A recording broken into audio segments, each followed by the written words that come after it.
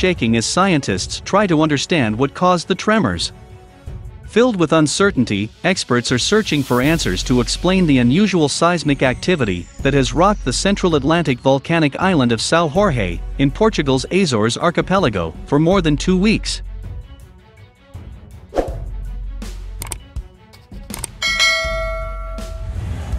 The island had been hit by nearly 27,000 minor earthquakes on Tuesday, and there are fears the activity could mark the first volcanic eruption since 1808, or a strong earthquake.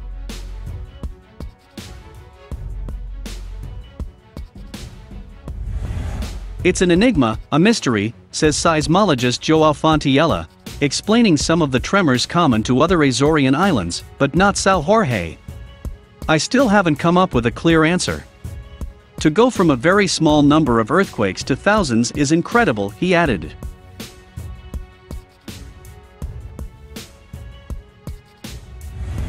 Authorities have warned the situation could drag on for an indefinite period.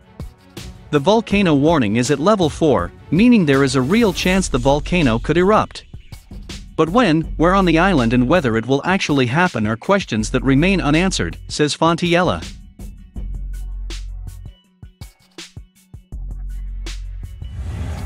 So far, all recorded earthquakes are of tectonic rather than volcanic origin, reaching magnitudes of up to 3.8.